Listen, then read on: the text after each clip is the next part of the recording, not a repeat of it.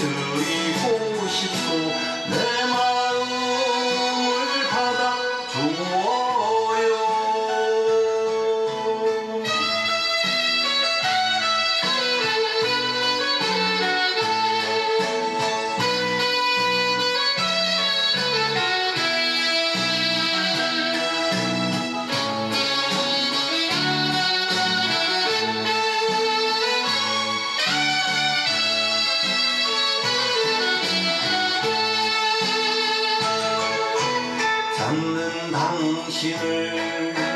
바라보다가 내 잘못 생각나서